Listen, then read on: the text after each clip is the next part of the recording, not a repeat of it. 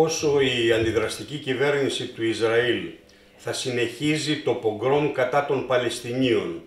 όπως τώρα επί δεκαετίες με δολοφονίες αμάχων, με απαρτχάιντ, με βασανισμούς, με φυλακίσεις, με κατοχή Παλαιστινιακών εδαφών, με επικισμούς,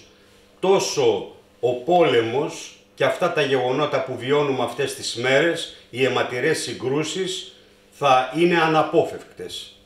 Ε, γι' αυτό όσοι πραγματικά ε, πιστεύουν στην ειρήνη, ποθούν την ειρήνη για την πολύπαθη Μέση Ανατολή, για να μην την πληρώνει τελικά ο ίδιος ο λαός, οι ίδιοι οι λαοί της περιοχής, ο Παλαιστινιακός λαός, ο Ισραηλινός λαός, οι υπόλοιποι λαοί της περιοχής, θα πρέπει να συστρατευτούν μαζί μας στον αγώνα για να υπάρξει πραγματικά ένα ανεξάρτητο Παλαιστινιακό κράτος στα σύνορα του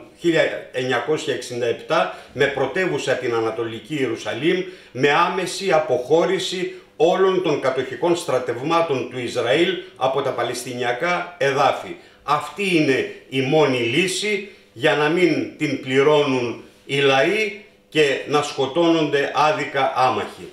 Ευχαριστώ.